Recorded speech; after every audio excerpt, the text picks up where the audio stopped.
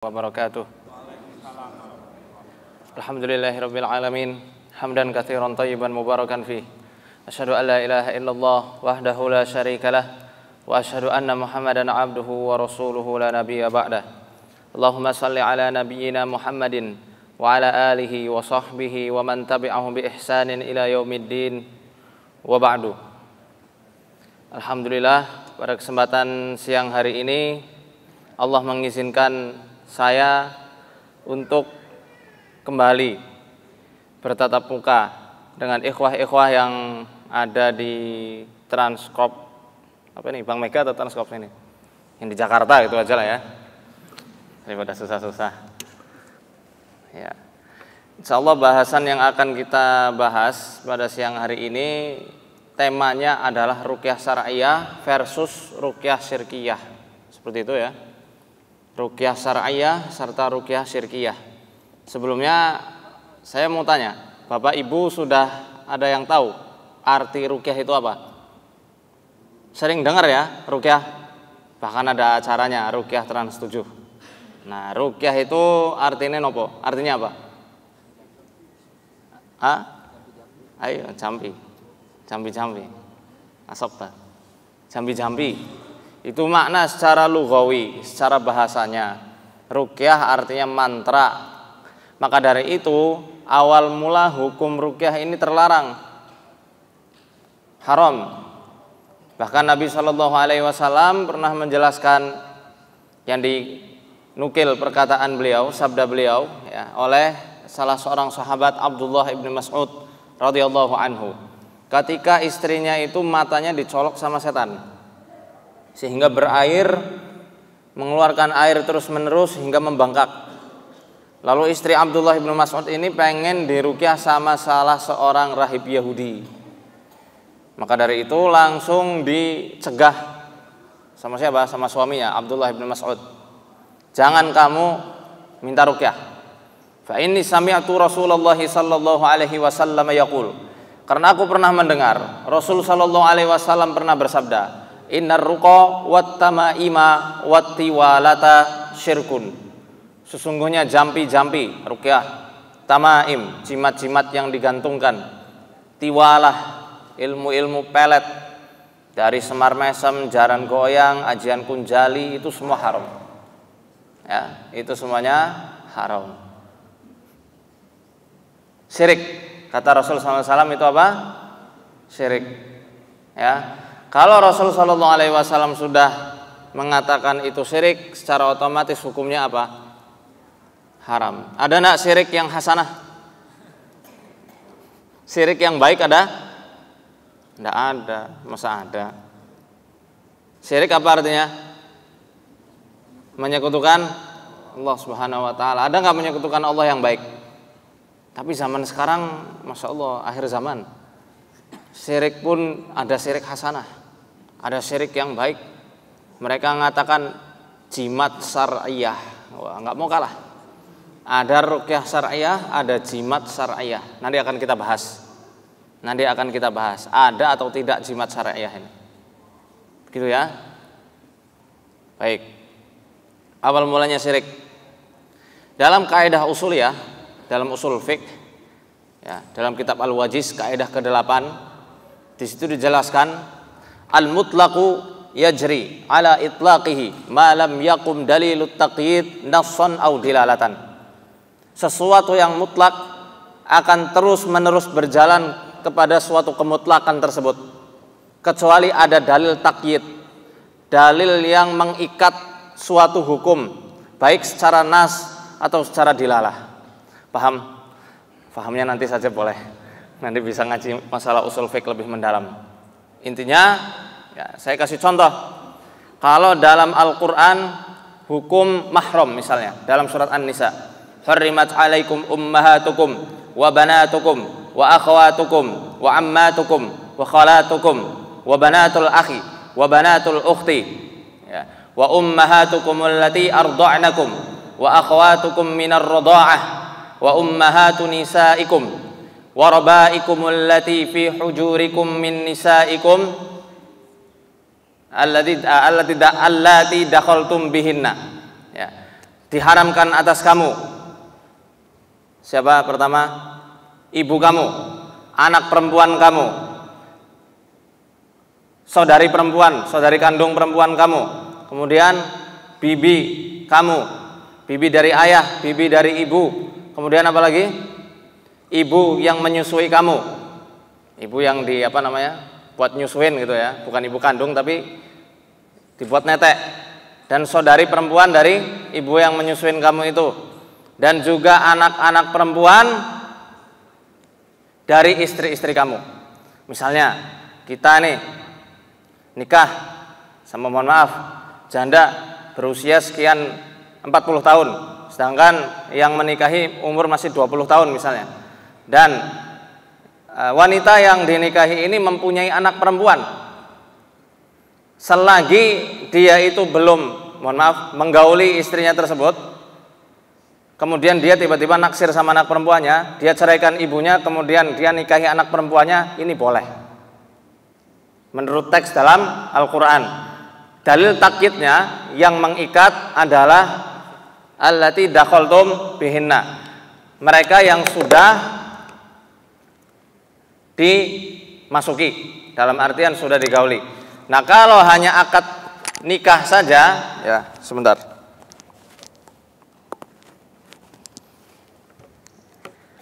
Pengikatnya adalah sesuatu yang sudah dimasuki.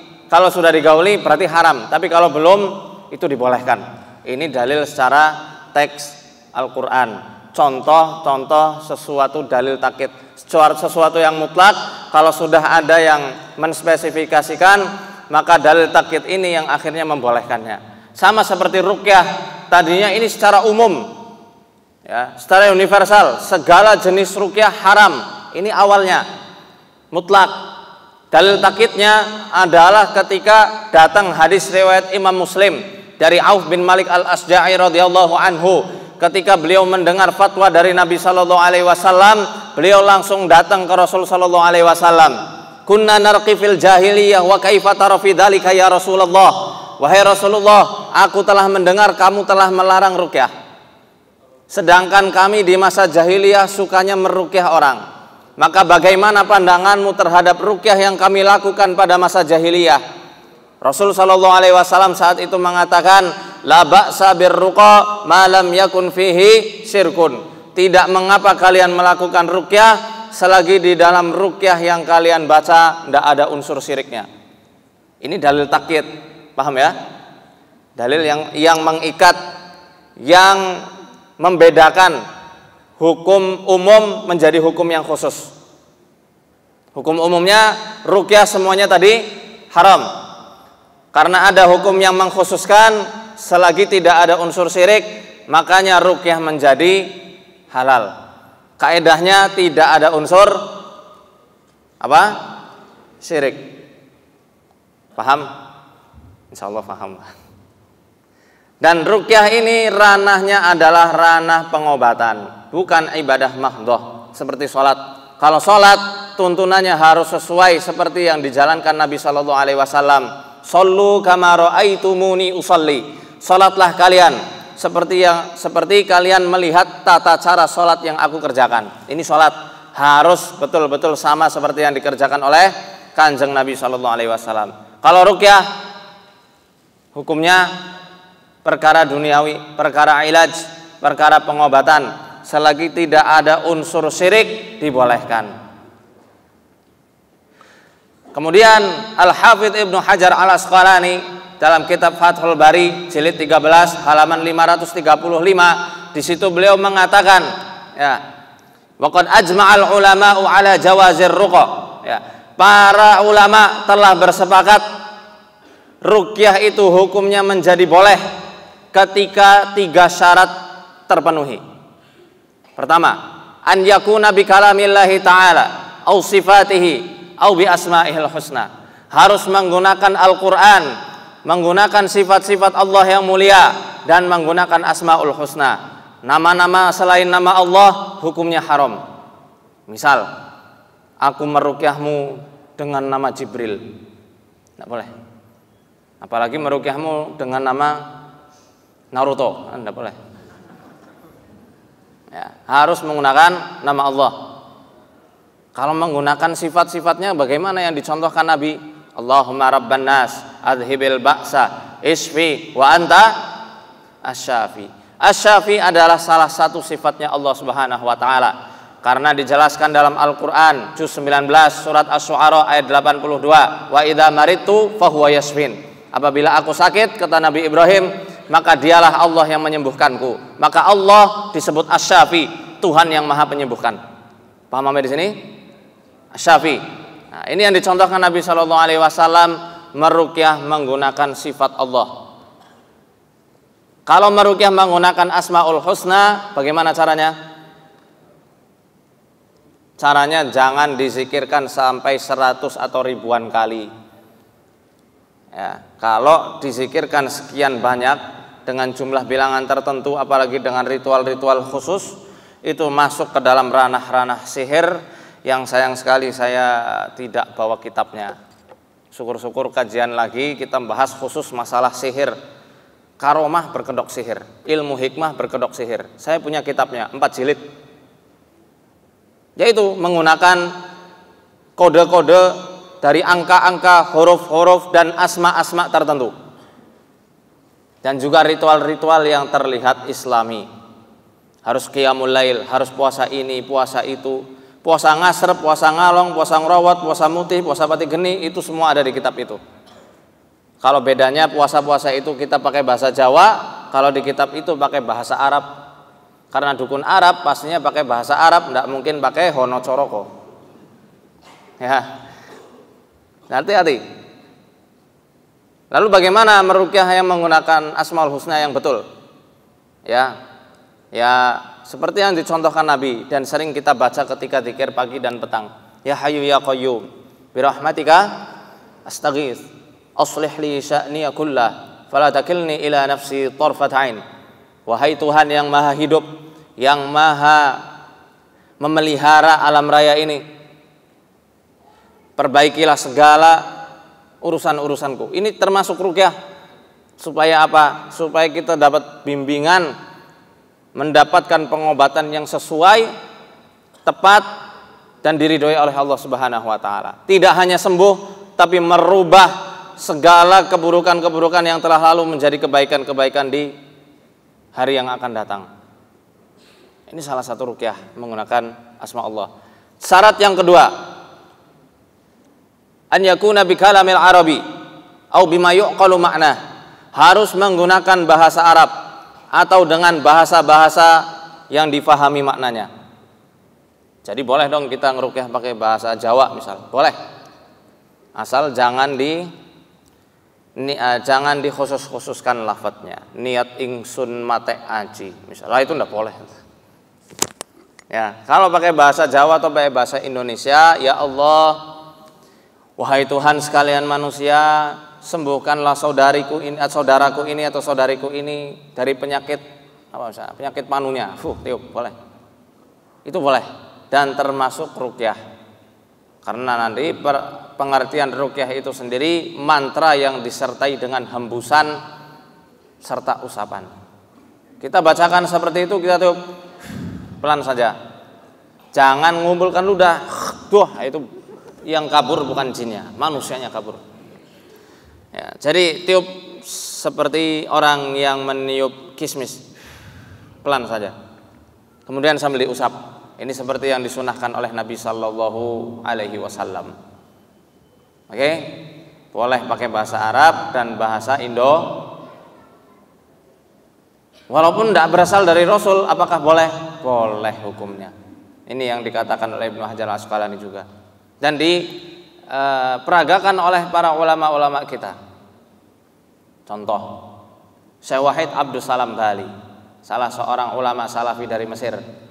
Beliau dalam kitab Wiqayatul Insani Minal Jinni Wasyaitan bab tentang mengusir jin dari rumah.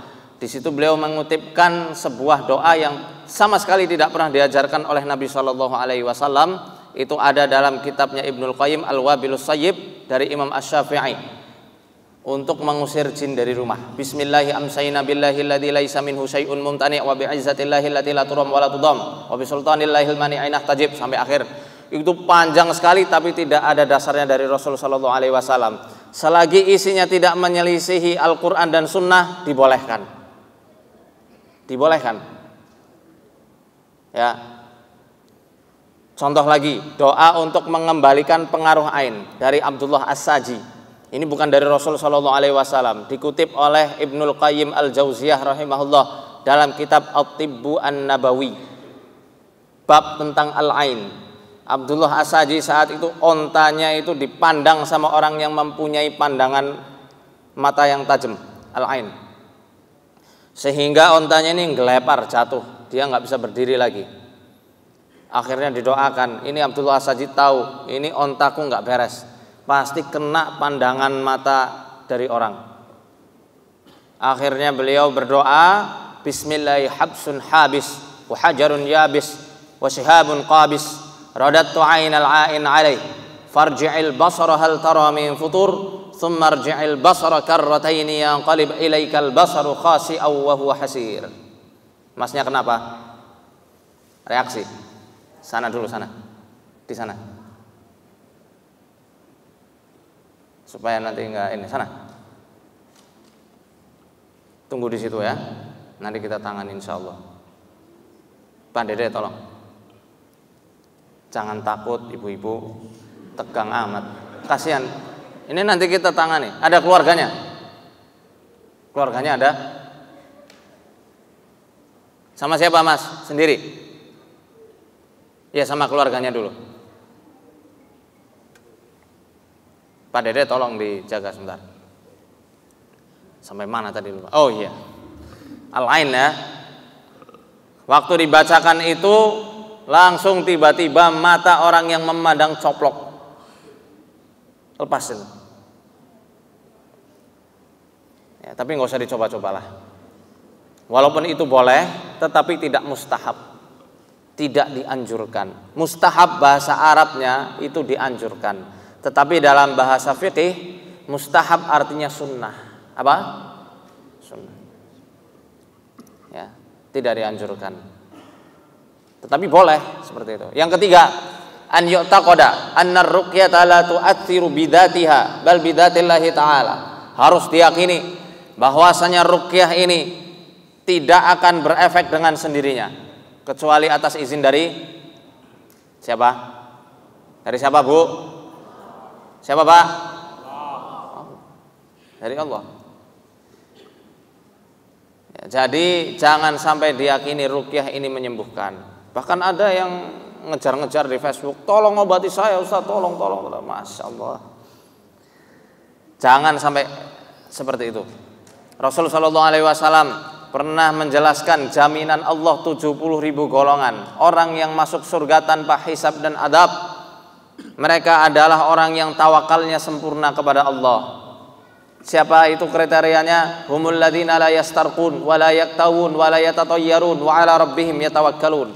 Orang-orang yang tidak pernah minta rukyah tidak bertatoyur tatoyur tahu? Bapak Ibu tahu? Tatoyur ya jadi orang Arab zaman jahiliyah dulu ketika mau safar dia ambil burung. Lalu dia terbangkan di depan rumahnya. Kalau burung ini terbang ke kanan hari baik. Kalau terbang ke kiri hari buruk. Termasuk angka di lift, angka 4 itu banyak yang nggak ada. 3 sama 3A. Iya kan? Perhatiin nggak selama ini? Huruf 4 dikatakan angka sial. Masya Allah. Tatoyur bukan itu? atau yang bikin lift itu itu kasihan itu. Iya itu termasuk otak atik gatuk namanya. Jadi tidak ada empat ya empat aja nggak nggak nggak mungkin sial kesialan datangnya dari siapa? Dari diri sendiri. Yang menyingkapkan siapa? Allah Subhanahu Wa Taala. Itu tatoyur tidak bertatoyur. Ya salah satunya itu saja deh. Kemudian walayak tawun yaktawun pengobatan kai sundutan api panas. Kalau zaman sekarang ada ulama yang mengkiaskan pengobatan kai ini dengan sinar X untuk ngobatin kanker. Apa namanya itu? Sinar X apa? Eh, infrared ya. Kemo ya. Ada yang mengatakan kemo, ada yang mengkiaskan sebagai kemo, ada yang mengkiaskan operasi. Wallahu a'lam bishawab. Yang jelas kai ya sebagaimana makna aslinya sundutan api panas. Ya. Nah di sini ada penjelasan ulama lebih lanjut orang-orang yang tidak minta rukyah, rukyah yang bagaimana? Dalam kitab Atharu Mathalil A'la dijelaskan yang dimaksud rukyah di sini adalah rukyah syirkiyah. Rukyah yang tidak dibolehkan secara syariat. Itu yang baru menghalangi pelaku yang minta rukyah tidak dapat masuk surga tanpa hisab dan adab. Lah kalau saya sudah terlanjur misal karena ketidaktahuan pergi ke dukun, Berarti masih nggak bisa masuk surga tanpa hisab dan adab. Masih bisa, tapi nggak masuk yang 70 ribu golongan ini, paham? 70 ribu golongan ini khusus orang-orang yang tawakalnya sempurna. Tetapi kan ada amalan-amalan lain yang bisa mengantarkan kita masuk surga tanpa hisab dan adab. Apa contohnya? Jihad visabilillah, tiba-tiba terbunuh syahid, insya Allah masuk surga tanpa hisab dan adab.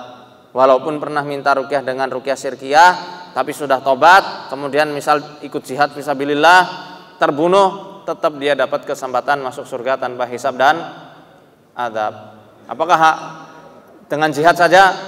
Misal naik kapal naudzubillah, tiba-tiba tenggelam, orang tenggelam mati syahid, bisa masuk surga tanpa hisab dan adab. Bisa difahami ya? Enggak hanya perkara sirkiah saja. Syekh Saleh Fauzan dalam kitab Beliau beliau menjelaskan bahwasanya orang-orang yang minta rukyah yamiluna qulubahum ilar ruqa wa ilar raqi. Ya. Aktsar minat tib.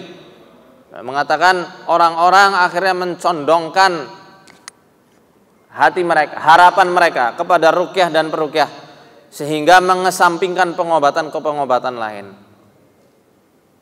Orang luka sobek dia hanya mengandalkan rukyah mau dirukyah sampai beratus-ratus kali yang namanya sobek sobek aja. Mau sunat dirukyah. Ini nggak bakal putus-putus itu. Harus dioperasi. Ya kan? Bahkan ada yang mengatakan operasi sesar bagian dari jin. Memang betul sebagian kasus tapi tidak bisa gebiak uya. Nggak bisa kita apa katakan secara umum. Memang betul sebagian kasus semacam itu. Tetapi nggak bisa semua orang yang sesar dikatakan orang kesetanan, orang yang sedang diganggu jin. Mahfum? Betul? Uh, paham di sini? Ya. Bisa kita rukyah, tapi kalau misal sudah pol-polan, nggak bisa lagi, operasilah. Jangan dibiarkan saja itu bisa membahayakan dan membunuh dua nyawa sekaligus. Ya, ini prinsip dasar ahlu sunnah wal jamaah. Itu gitu juga yang dikatakan oleh Syekh Saleh Fauzan dan masyayikh yang lainnya. Bahkan dalam hasiah apa, Tuhfatul Murid ya, Sarah Jauharatul Tauhid ini yang mungkin di sini ada yang menganut akidah Asy'ariyah Maturidiyah. Saya juga mempelajari ini di Al Azhar tingkat dua di halaman pertama tentang af'alul ibad. Barang siapa yang meyakini bahwasanya api, air, makanan, pisau itu bisa api bisa membakar dengan sendirinya, makanan bisa mengenyangkan, air bisa menghilangkan haus. Kemudian apa lagi? Pisau bisa melukai seseorang dengan zatnya, maka dia kafir bil ijma. Dia telah kafir secara ijma para ulama. Akidah di Asy'ariyah. Bahaya enggak?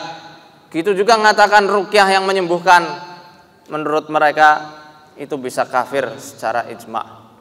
Menurut ijma para ulama hukumnya seperti itu. Menakutkan. Akidah Asy'ariyah, Tufatul Murid.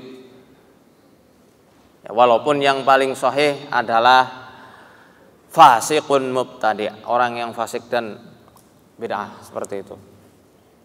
Ini ke mana-mana akhirnya. Ya. Jadi banyak yang datang ke kita minta dirukyah.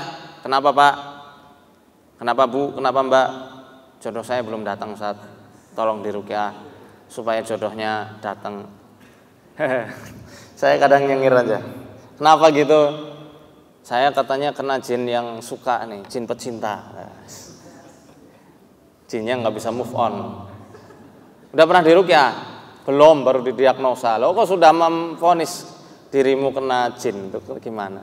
Kalau celana jin mungkin. Tapi kalau jin yang mencintai, aduh bagaimana? Harus di teliti. Ternyata ketika kita rukyah nggak ada apa-apanya.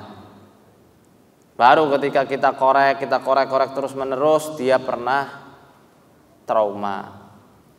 Ayahnya pernah selingkuh, dia takut kalau diselingkuhin, akhirnya takut, tidak kepengen nikah-nikah atau menjadi judes sama laki-laki siapa aja kabur takut Wong nikah kepengen mendapatkan ketenangan dan kasih sayang malah orangnya jutek kalau ndak bisa ngerubah diri sendiri mau dirukyah siapa pun ya susah untuk datang jodohnya kita ini bukan ruatan yang membuka aura seseorang tanpa kasih gitu ya susah Beda, nggak seperti itu. Ustaz, tolong rukyah saya. Kenapa? Supaya rizkinya lancar. Masya Allah. Sekarang ada, mungkin bagi dia ada rukyah penglarisin, peng, peng, apa? Rukyah penglarisan gitu ya. Rukyah bukan seperti itu, tidak ada rukyah untuk melariskan dagangan. Adanya rukyah untuk menghilangkan sihir-sihir yang ada di toko yang tokonya itu mendapatkan ilmu sirap ilmu apa namanya penutup sehingga orang yang datang selawar seliwer selama ini tidak melihat toko yang buka di situ. Itu juga ada yang semacam semacam itu. Tapi kalau untuk melancarkan dagangan melancarkan usaha bisnisnya jadi berkembang ke mana-mana itu bukan ranah rukyah. Seperti itu ya. Baik kita langsung saja pada ciri-ciri rukyah sirkiyah.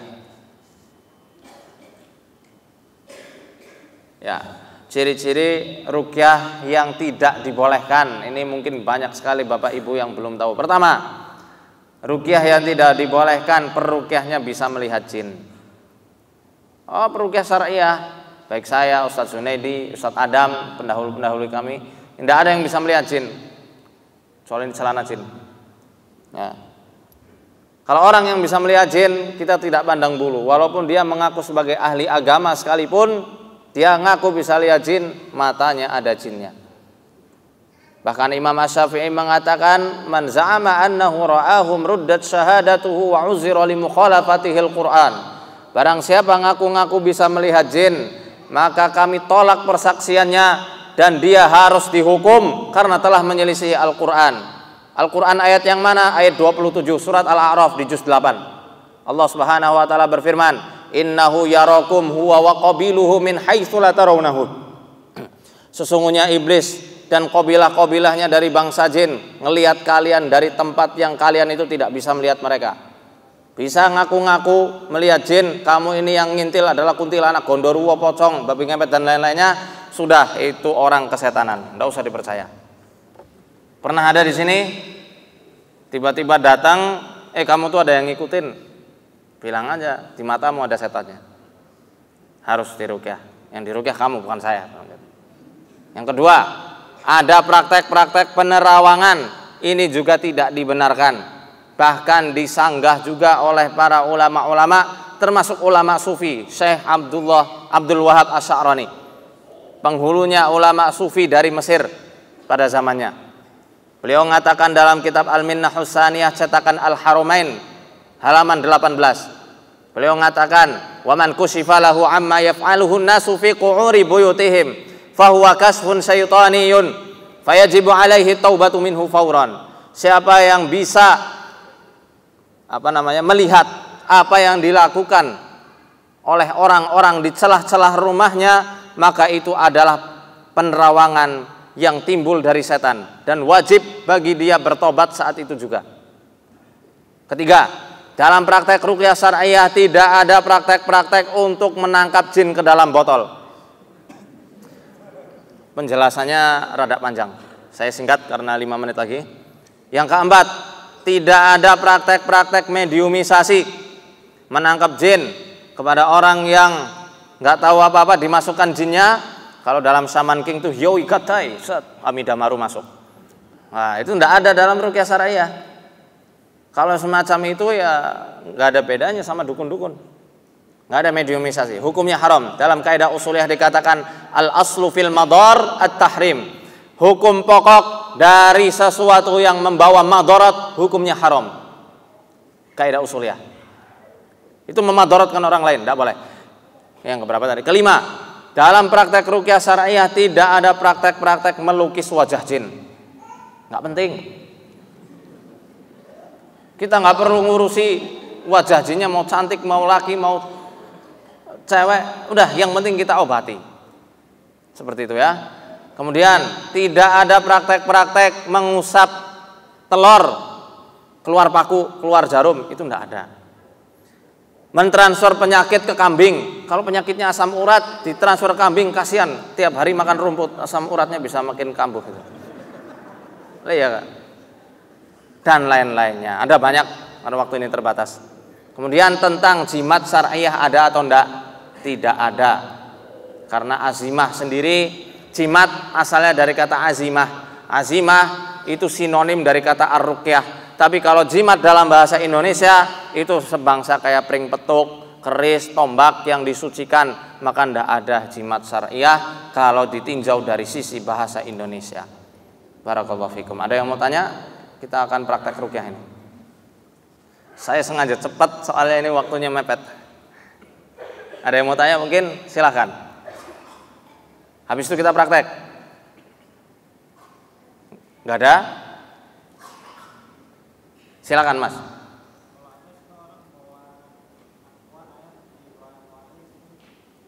Ya, terus? Oh, membawa air. Mem oh enggak, kita nggak begitu. Air ini mau kita kader antum semuanya supaya bisa merukyah sendiri sendiri menggunakan air. Itu masro.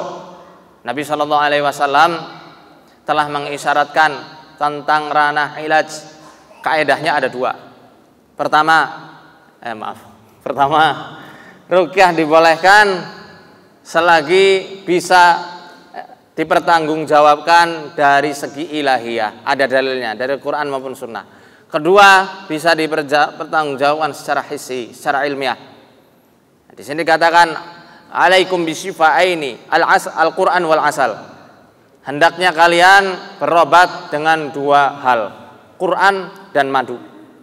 Quran pengobatan rohani dari langit madu pengobatan jasmani yang Allah tumbuhkan dari bumi. Dari apa? Perut lebah dan ada dalam Al-Quran. Air bisa juga kita rukyah kemudian kita minum. Gitu. Bisa dipahami? Jadi tidak ada serik-serikan karena yang kita baca Al-Quran dan kita tidak mengatakan air ini yang menyembuhkan. Mana nggak ada air?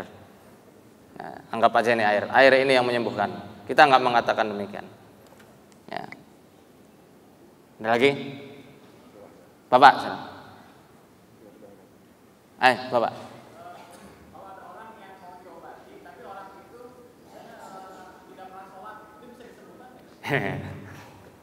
bisa saya bilang bisa, tapi butuh proses lama.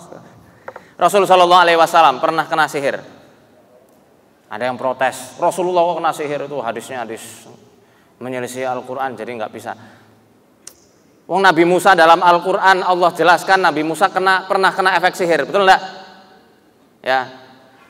Ketika penyihir-penyihir Fir'aun melemparkan apa namanya itu? tongkat sama tali mereka sehingga kayak ular faujasa fi nafsihi khifatan Musa. Saat itu Nabi Musa terhipnotis sehingga muncul rasa takut dalam hatinya. Itu muncul karena efek sihir yang diperbuat oleh penyihir Fir'aun. Maka Rasulullah SAW pernah kena sihir dan di suatu riwayat dikatakan beliau sembuh dari sihirnya sampai diturunkannya surat An-Nas dan Al-Falak dan Anas adalah satu tahun. Ada yang mengatakan enam bulan, tapi yang paling sahih 40 hari. Ini Rasul tidak langsung disembuhkan. Sekian lama apalagi nggak sholat jilbabnya masih nggak dipakai jangan harap sembuh deh mau dirukyah kok nggak jilbaban. Mau dirukyah kok nggak sholat tuh gimana? Kan gitu ya kan jangan harap sembuh susah Ibnu Qayyim rahimahullah mengatakan ya tibbul Quran ya yunasibu alal arwahit tayyibah pengobatan dengan Al-Quran ini akan berimbas dengan amat sangat baik kepada roh-roh yang juga baik, jiwa-jiwa yang baik Jiwa yang baik itu kapan muncul? Ketika syariat-syariat Allah dijalankan semaksimal mungkin. Ya Yohanes, ya Yohanes, Udkhulu fisil mikafah wala tattabi'u khutuwati syaitan. Wahai sekalian manusia, masuklah kamu ke dalam agama Islam dengan sesempurna mungkin. Jangan kamu ikuti langkah-langkah setan. Apa langkahnya setan? Membuat orang masuk Islam tapi Islamnya cuma bawang kontong. Bawang kontong bahasa Banyumas. Bawang kontong itu cuma ikut-ikutan. Seperti itu. Bawang kontong itu apa? Kalau anak kecil tuh main-main yang kereta-keretaan, nah itu ekornya paling paling belakang itu. Jangan seperti itu, tapi ikuti syariat Islam sebisa mungkin. Kewajiban-kewajiban Allah yang disampaikan dalam Al-Quran ya harus diikuti. Jadi seperti itu. Nah, maka pengobatan Al-Quran lebih luas, Pak. Lebih luas daripada rukyah. Rukyah salah satu cabangnya. Cabang yang lain adalah dengan menyadarkan orang, membuat orang itu hijrah, bisa memegang teguh Al-Quran dan Sunnah dengan seerat-eratnya. Seperti itu. Sudah? Iya Pak yang kuning.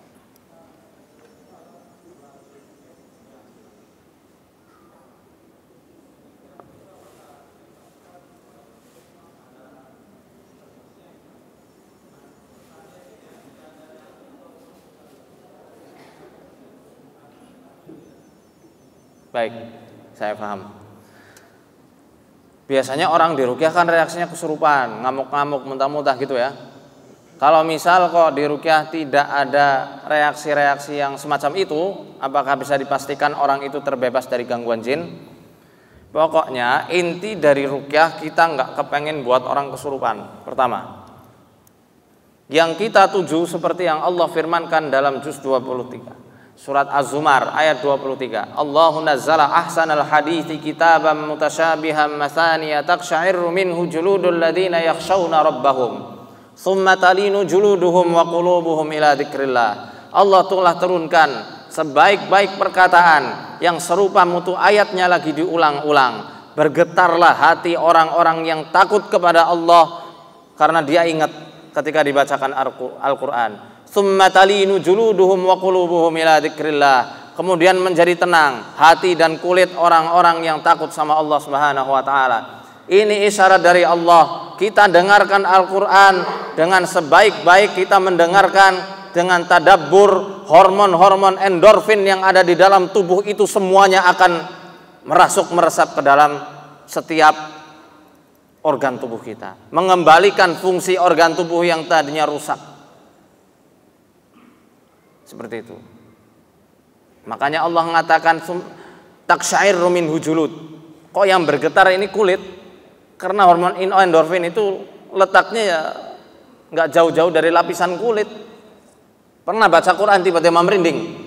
Pernah dengarkan Quran yang merdu tiba-tiba uh, bapak ibu merinding. Itu bukan kesetanan. Itu reaksi tubuh dengan memancarkan hormon-hormon endorfin, hormon kebahagiaan itu ke seluruh tubuh yang nantinya akan menormalkan seluruh fungsi organ tubuh yang tadinya nggak normal. Ini kemujizatan Al-Quran yang jarang kita kaji tapi malah dikaji banyak sama orang-orang kafir. Eh, semua kunci-kunci ada dalam Al-Quran. Kunci ilmu pengetahuan, baik yang telah lalu maupun yang akan datang. Termasuk ilmu-ilmu sihir semacam ini. Sebenarnya sudah dijelaskan supaya kita berhati-hati. Gitu Pak. Nah, jadi yang lebih kita tuju tenangnya hati, perubahan kepada kebaikan setelahnya. Biasanya orang di rukyah setelahnya semangat ibadahnya memuncak. Emosinya bisa stabil. Enggak mesti di rukyah orang lain, rukyah mandiri setiap hari. Nanti akan kita praktekkan. Langsung kita praktek? Langsung ya? Airnya ada? Nanti caranya boleh sambil memasukkan satu ruas jari telunjuk kanan ke minumannya. Kemudian satu ruas gini. Cuma segini aja. Kemudian bisa eh, nanti ikuti apa yang saya baca. Oke?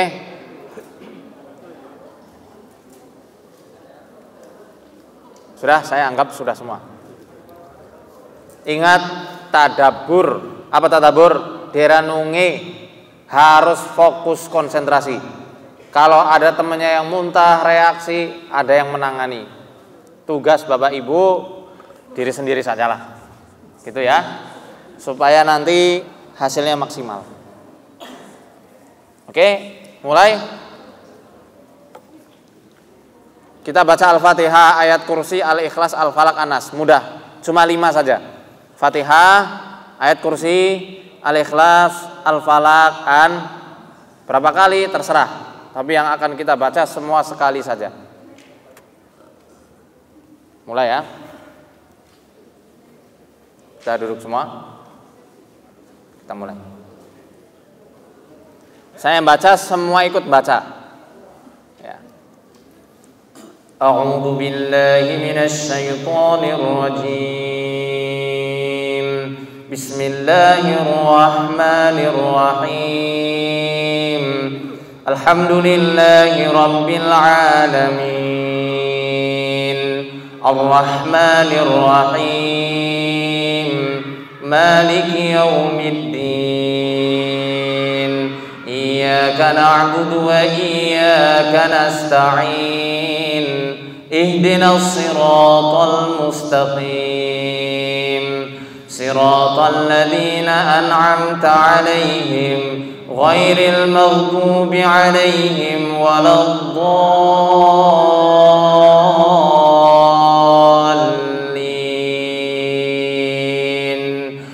أعوذ بالله من الشيطان الرجيم.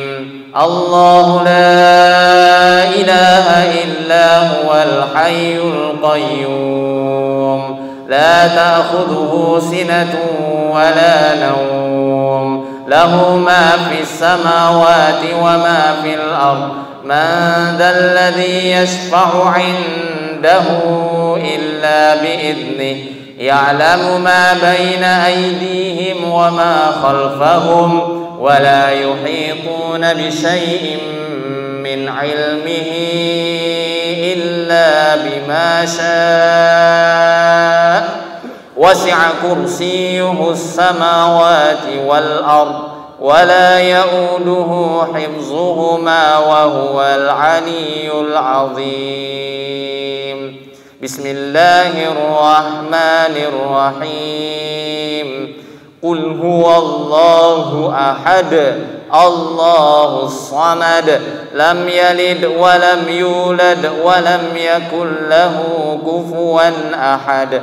بسم الله الرحمن الرحيم. قل أعوذ برب الفلق من شر ما خلق ومن شر غاسق إذا وقب ومن شر النفاثات في العقد ومن شر حاسد إذا حسد بسم الله الرحمن الرحيم قل أعوذ برب الناس ملك الناس إله الناس من شر الوسواس الخناس الذي يوسوس في صدور الناس من الجنة والناس dekatkan ke mulut ikuti apa yang saya baca أعوذ بالله العظيم وبوجه الله الكريم وسلطانه القديم من الشيطان الرجيم. أعوذ بالله العظيم وبوجه الله الكريم وسلطانه القديم من الشيطان الرجيم. أعوذ بالله العظيم وبوجه الله الكريم وسلطانه القديم من الشيطان الرجيم pegang tangan kanan baca bismillah minum diseruput pelan-pelan pelan-pelan pak pelan-pelan aja begini saya contohkan nah gitu aja Gak usah gelekok, gelekok, gelekok. Ah, Pelan-pelan aja, kayak seruput kopi dinikmati.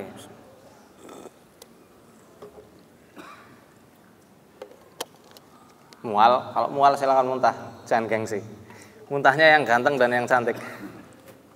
Oh, gitu. silakan muntahkan kalau mau muntah. Kalau enggak, ya enggak apa-apa. Minum lagi pelan. Yang sering pusing, bisa nanti kita praktekkan masukkan ke dalam khaisum. Dalam hadis riwayat Imam Muslim Rasul Shallallahu Alaihi Wasallam pernah mengabarkan Inna syaitana yabitu ala khaisumihi. Ya. Setan ketika malam itu sukanya bermalam pada lubang hidung. Makanya ketika pagi disunahkan kita untuk istintar hirup air ke dalam hidung. Khaisum itu ada di mana? Di sini. Aktabul Anf. Dalam fikih Bajuri dikatakan yang namanya khaisum adalah bagian hidung yang ketika air itu masuk menurut madhab syafi'i puasa orang tersebut batal. Di mana? Di sini. Pernah kemasukan hidung terus perih? Itu haisum. Kalau di sini ini tempat upil, bukan tempat setan. Setan di sini. Di sini. Dan di balik ini ada yang namanya kelenjar pituitari. Kelenjar yang mengatur hormon seluruhnya. Itu ada di balik ini. Makanya setan sukanya di sini. Ayo kita hirup. Saya juga hirup demi demi mengajari. Ayo bismillah.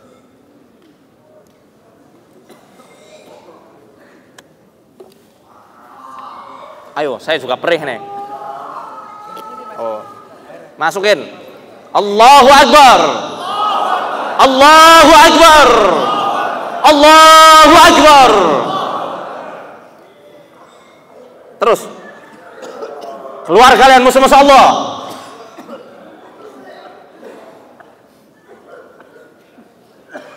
Tinggalkan tubuh saudara-saudariku yang ada di sini. Keluar semua ya.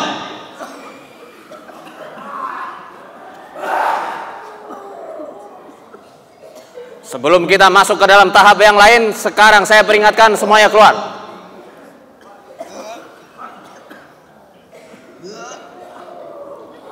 Ayo nggak usah sok jurus-jurusan, keluar.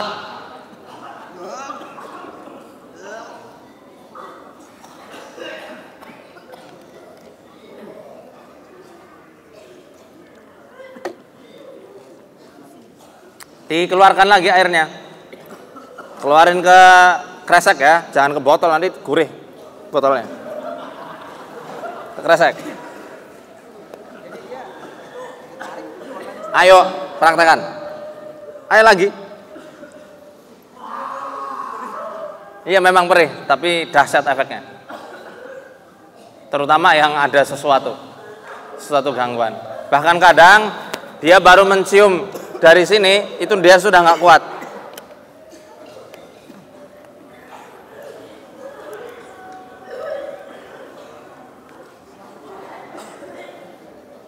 Ustaz Suhel bawa ke sana aja nanti kita Mas Rahmat tolong bantu. Ayo cepat keluar ayo. Pelan pelan pelan. Pelannya pelan.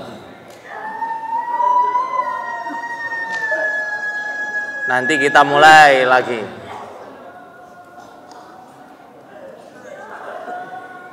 Mas ayo praktek. Sudah praktek. Gimana rasanya Jadi yang namanya rukyah ini butuh dengan pengetahuan ilmu-ilmu syar'i yang lain. Karena rukyah dengan fikih nyambung, rukyah dengan tauhid apalagi nyambung. Jelas nyambungnya. Rukyah dengan tafsir pasti nyambungnya. Dengan hadis nyambung. Maka pengobatan dakwah rukyah ini adalah dakwah yang mengajak umat Islam untuk mencintai ilmu-ilmu syar'i supaya rukyah yang dijalankan betul-betul sesuai dengan syariat Islam. Ada yang mau muntah tapi ketahan? Pegang ulu hatinya. Lihat sini. Ayo. Ikuti Bu, jangan sibuk ngerekam. Nanti di Facebook saat kapan saya dirukyah lain kita ngerukyah.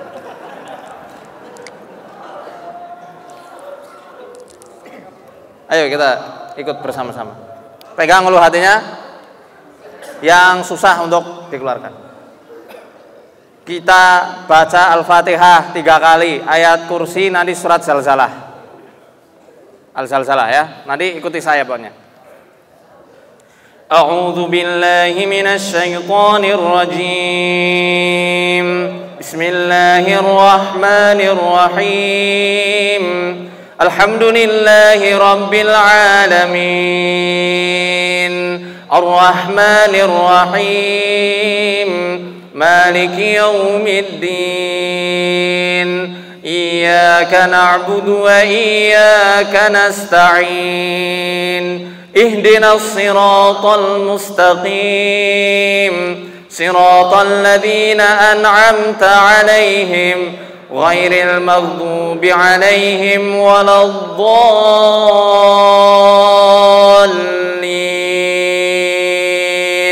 بسم الله الرحمن الرحيم. الحمد لله رب العالمين. الرحمن الرحيم. مالك يوم الدين. إياك نعبد وإياك نستعين. اهدنا الصراط المستقيم. صراط الذين أنعمت عليهم غير المغضوب عليهم ولا الضالين.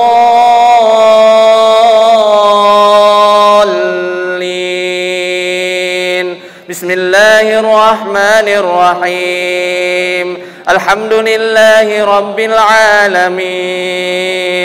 الرحمن الرحيم. مالك يوم الدين. إياك نعبد وإياك نستعين. اهدنا الصراط المستقيم. صراط الذين أنعمت عليهم غير المغضوب عليهم ولا الضالين. آية كرسي أعوذ بالله من الشيطان الرجيم. الله لا إله إلا هو الحي القيوم. لا تأخذه سنة ولا نوم. له ما في السماوات وما في الأرض. من ذا الذي يشفع عنده إلا بإذنه.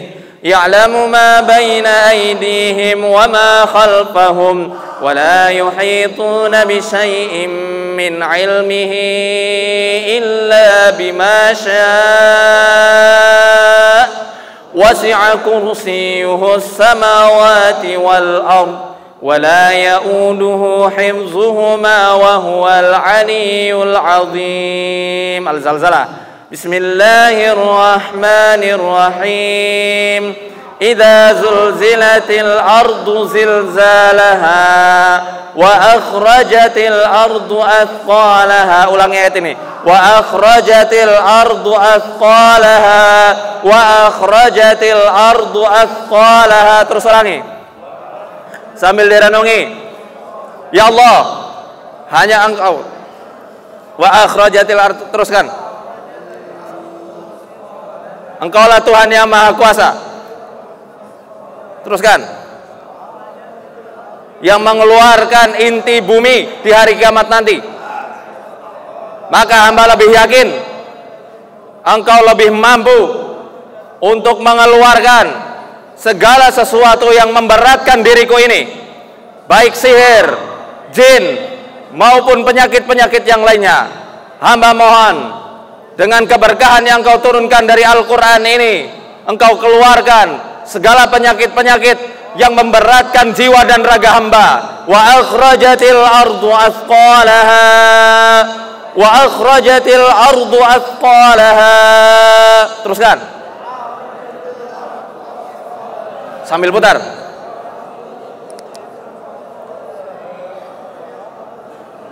Wa akhrajatil ardu athqalaha wa akhrajatil ardu athqalaha. Sekali lagi.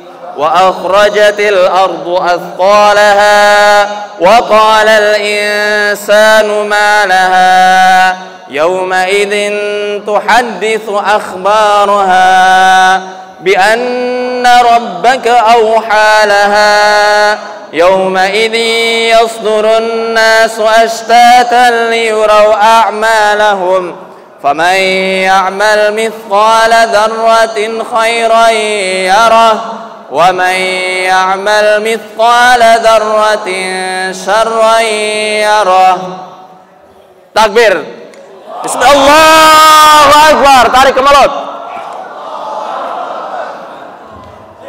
sudah tadi udah ada yang keluar buyar konsennya sendawa muntah atau kepengen ke belakang itu salah satu bagian dari reaksi-reaksi yang ada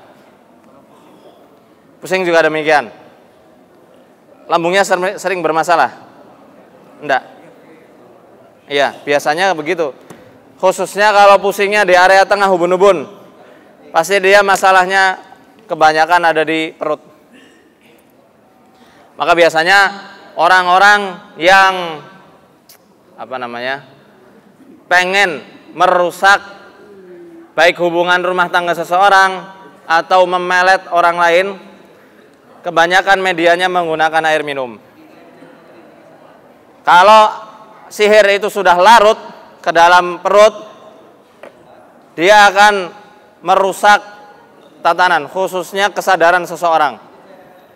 Dia sering uh, melihat suatu penampakan yang hakikatnya itu hanya ilusi, melihat seakan-akan dia dikejar-kejar monster dan lain-lain. Ambil sinutok di situ ada. Begitu ya. Baik. Sekarang kita praktek rukyah orang lain. Siap? Nanti Bapak Ibu semuanya saling merukyah. Saya kasih contoh satu orang dulu.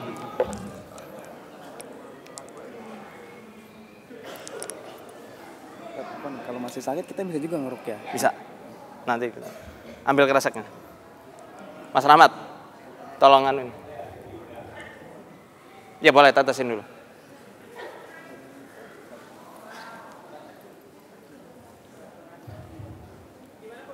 minta dipegangin.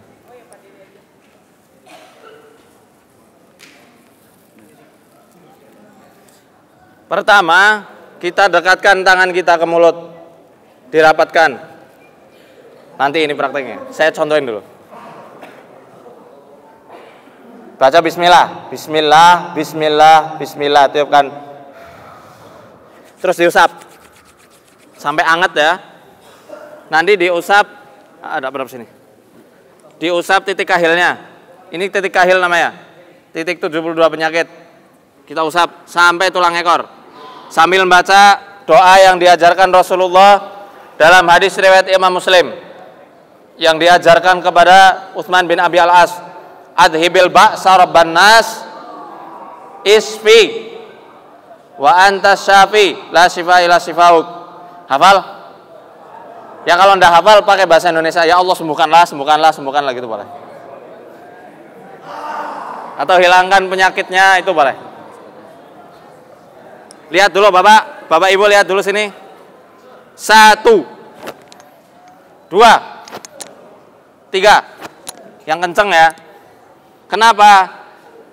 Di tulang punggung setan ini suka tinggal di area sini juga. Oke. Oh sudah, sudah mual dulu. belum belum mulai.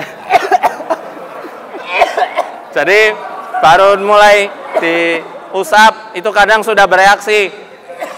Sini sini belum. Mual, ya muntahlah. Muntahkan dulu. Satu, dua, tiga. Ini salah satu efeknya dengan doa yang diajarkan Nabi Shallallahu Alaihi Wasallam. Ya, adhibil ba'sa. Kalau anda bisa, ya Allah sembuhkanlah, hilangkan penyakit saudara saudara saudaraku ini. Seperti itu. Baru diusap. Bismillah. Satu, dua, tiga. Kalau mual, pertanda setannya itu jenis toyar, sukanya masuk di area tulang ekor. Terus tinggalnya di area perut, kalau dia lama, sukanya masuk ke area, mohon maaf, kemaluan. Atau ada yang ke wilayah jantung, sehingga kadang membuat jantung koroner atau kejang jantung, suka dibuat pemarah dan lain-lainnya. Itu kalau udah parah. Kalau perut ya kadang sininya sering pus- sering pusing nggak sini? Sering. Oke, ya itu betul tadi. Tadi langsung muntah-muntah kita usap. Oke, setelahnya lepas dulu ini lepas. Kita pegang pelipisnya. Begini, posisinya begini. Kelihatan? Ada ada sini aja. Posisinya begini, ada sana mas. Atau begini nanti dari belakang boleh. Tapi jangan kereta-keretaan. Karena biasanya kita pegang lemes dan dia jatuh. Nah kalau jatuh semua yang paling belakang kasihan. Kita baca Fatihah. Oke, kita baca Al-Fatihah walaupun kita baca pelan. Merem. Kelihatan cara megangnya? Kita mulai. Nanti dulu prakteknya nanti. Kita prakteknya nanti. Kita lihat dulu. A'udzubillahi minasyaitonirrajim. Bismillahirrahmanirrahim.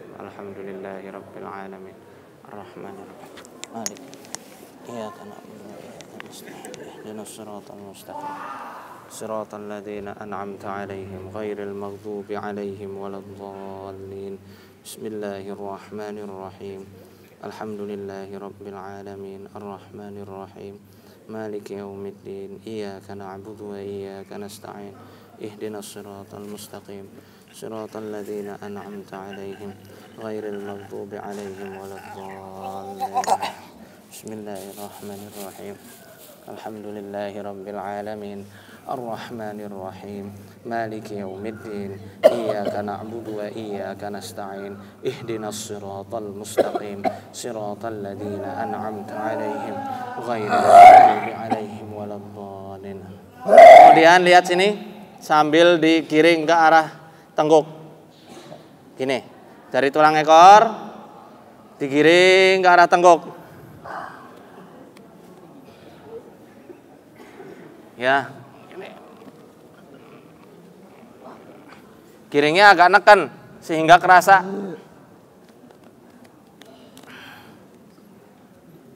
Di sini boleh kita tepuk-tepuk sedikit. Jangan wah kayak ini. Apalagi gini. Aduh. Ini aja. Ayo keluar sambil kita suruh keluar.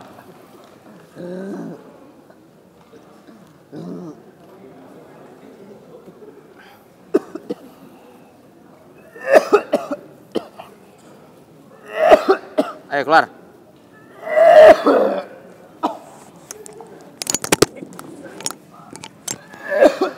أعوذ بالله من الشيطان الرجيم. اتبعوا ما تتلو الشياطين على ملك سليمان. وما كفر سليمان ولكن الشياطين كفروا يعلمون الناس السحر. وما أنزل على الملكين ببابل هاروت وماروت وما يعلمان من أحد حتى يقولا إنما نحن فتنة فلا تكفر فيتعلمون منهما ما يفرقون به بين المرء وزوجه وما هم بضارين به من أحد إلا بإذن الله ويتعلمون ما يضرهم ولا ينفعهم ولقد علموا لمن اشتراه ما له في الآخرة من خلاق ولبئس ما شروا به أنفسهم لو كانوا يعلمون Kemudian bisa kita tiupkan ke arah telinga kanan. Bismillah.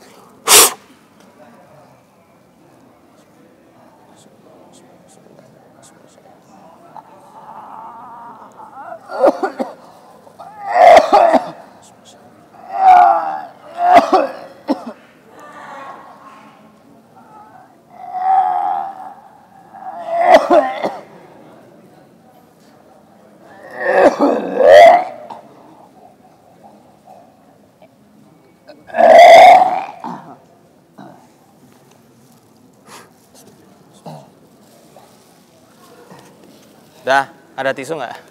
Coba sana. Ayo, kita mulai praktekan sebelum lupa.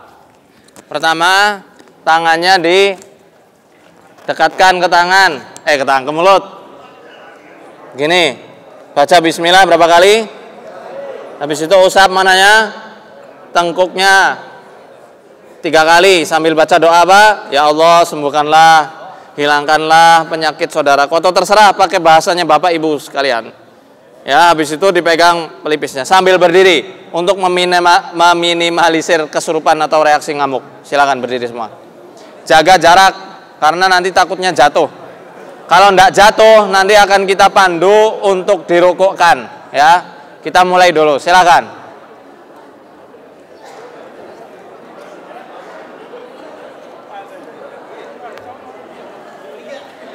Takra Fatihah. Dipandu oleh sahabat saya Mr. Mehdi. Al-Fatihah, Al-Fatihah. Eh, Ayo kita mulai dulu. Usap, baca bismillah. Semuanya. Hadirkan hati ketika membacanya. Yang dirukyah hadap sini semua. Yang dirukyah semua hadap kiblat. Yang merukyah di arah kanannya. Oh itu sudah mulai. Kita mulai. Satu. Usap. Dua. Usap-usap ke punggungnya. Satu. Usap ke punggung temannya. Ya. Dua. Tiga. Pegang pelipisnya. Baca Al-Fatihah. Tiga kali dipimpin Semahdi.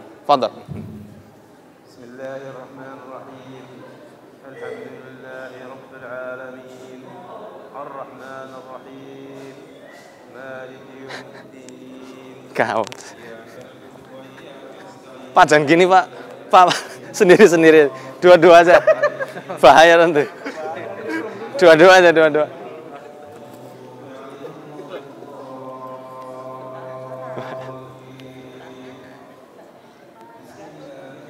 Oh, iya. Saya belum pernah ketemu. Iya saya juga.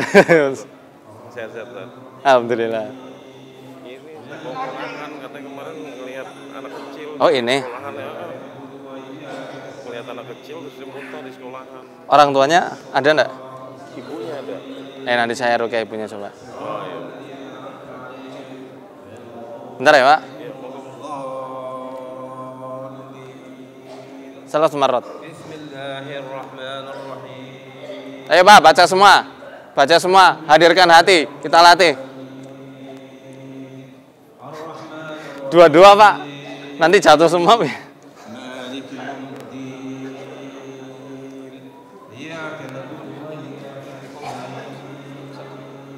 Ibu auratnya jangan kelihatan.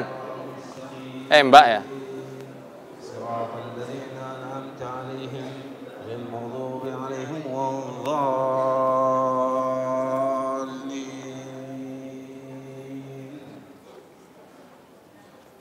Kelas.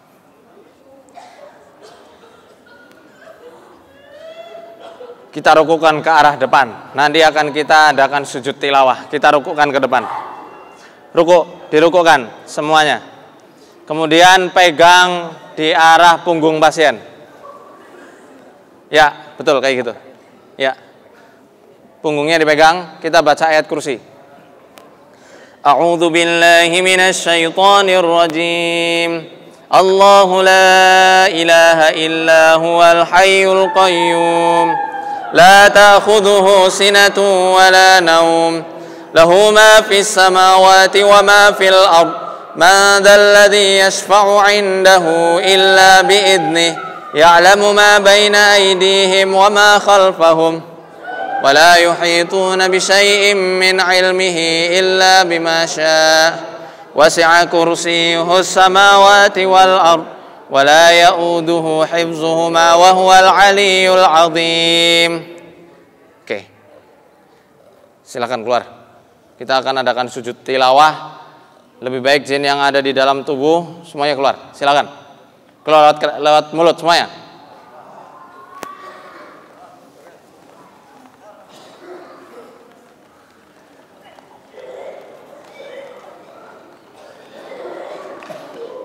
Mas Rahmat. Sini kan tuh, nanti itu.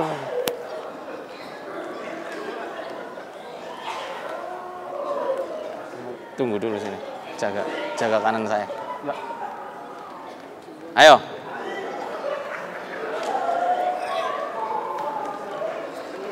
kita adakan sujud tilawah. Sujud yang membuat iblis nangis. Gak hanya lari, dia nangis. Hadis riwayat Imam Muslim. Ya. Kita akan mulai. A'udzu billahi minasy syaithanir rajim. إنما يؤمن بآياتنا الذين إذا ذكروا بها خروا سجدا وسبحوا بحمد ربهم وهم لا يستكبرون sujudkan Allahu Akbar سجد وجهه للذي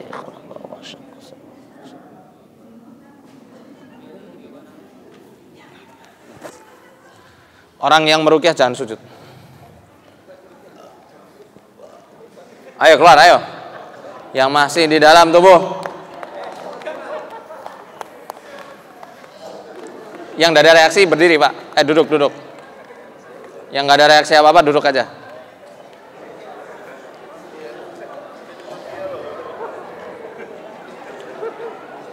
Yang masih ada reaksi sendawa, mual atau apa, teruskan.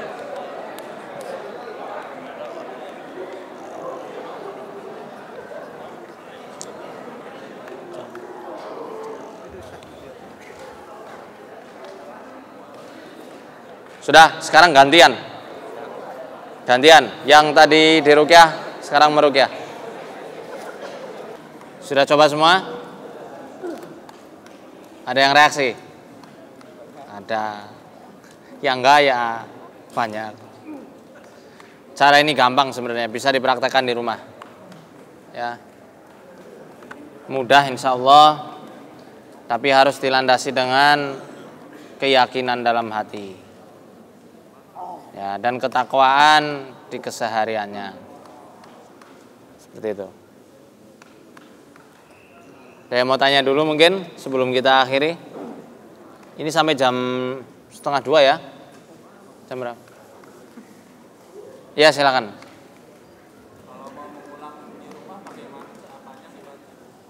Yang dibaca cukup al-fatihah ayat kursi al-ikhlas al-falak an-nas pendek memang ya.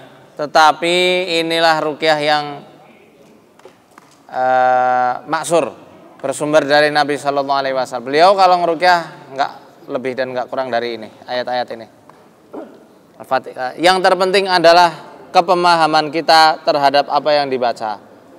Seperti mungkin untuk menambah keimanan serta menambah nikmatnya ketika kita membaca Al-Quran pelajari tafsir asbabun nuzulnya, keutamaan-keutamaan surat atau ayat-ayat itu. Seperti halnya Al-Fatihah contoh.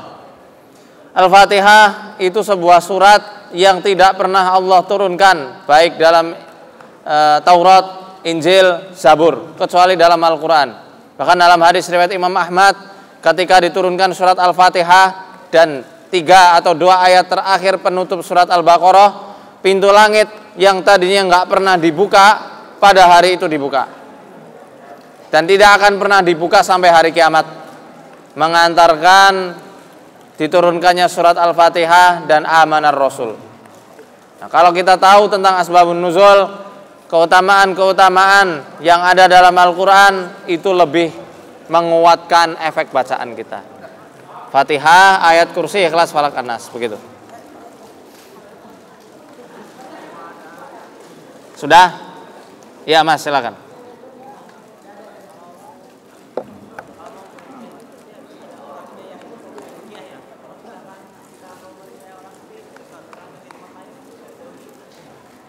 Itu namanya bukan rukyah, tetapi doa.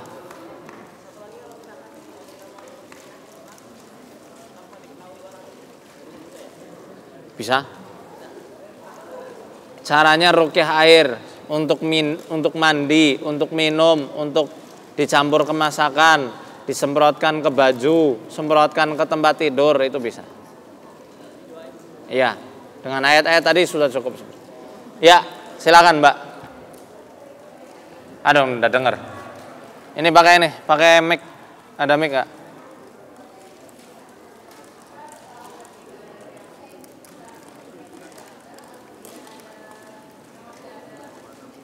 Apa? Apa ibu bilang apa dia? Oh, pasti ada reaksi. Karena yang namanya reaksi itu nggak mesti hal-hal yang nampak. Hal-hal yang tak nampak itu yang justru kita pengen-pengen kan. Al-Quran goib nggak? Goib nggak kelihatan. Penyakit goib apa nyata? Nampak nggak? Penyakit pusing wujudnya kayak apa? Makanya penyakit termasuk hal goib.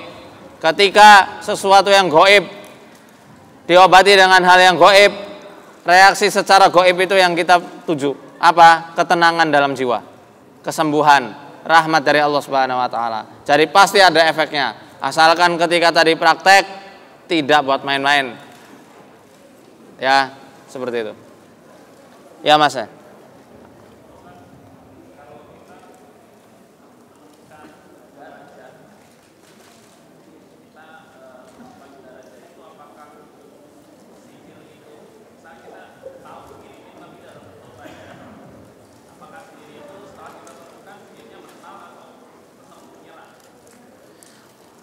Untuk itu harus dihancurkan dulu. Ketika itu sudah dihancurkan, insya Allah sihirnya hilang. Kalaupun nggak ketemu, itu juga bisa sihir itu dihancurkan. Sinyal dari dalam. Pokoknya e, rumusannya itu ibaratnya sihir itu ada ada dua sinyal, dua pemancar. Kalau salah satu pemancar hilang, hilang semua. Seperti itu. Kalau misal pemancar yang dari luar, semisal iketan, rambut-rambut yang diikat atau tulang-tulang hewan yang dibuat untuk nyihir orang, itu nggak ketemu, cukup obati orangnya. Kalau orangnya sudah punya jiwa yang kuat, kemudian sinyal pemancar yang ada dalam tubuh seseorang itu sudah sirna karena cahaya keimanan, sihirnya pun akan hilang. Tapi itu ya harus sabar dan telaten, serta dibutuhkan keikhlasan yang tinggi dalam pengobatannya, baik yang mengobati maupun yang diobati. Ada cerita ketika Ustadz saya ngobatin orang-orang yang kena sihir semacam itu. Jadi pengobatannya itu butuh waktu bertahun-tahun. Beberapa tahun itu. Tiap hari dikasih ramuan khusus untuk mengeluarkan mendetok racun-racun yang ada di tubuh serta dirukyah setiap hari. Di akhir finalnya itu, finalnya ketika mau sembuhnya, masya Allah, mohon maaf, dia BAB sampai fesesnya itu panjangnya, aku aduh lagi makan ya, mohon maaf, nggak jadilah, sampai satu meter, sampai satu meter lebih, sampai orangnya bingung, wah ini kenapa ini? Saat itu sudah hilang semuanya. Makanya pengobatan sihir ini kadang unik dan beda dengan pengobatan lain. Harus telaten dan sejauh mana orang itu memperhatikan agamanya. Jangan ketika praktek rukyah aja pakai kerudung, habis itu nggak pakai kerudung. Jangan ketika dibicarakan masalah sholat aja dia sholat, habis itu dia lupa sehari dua harinya.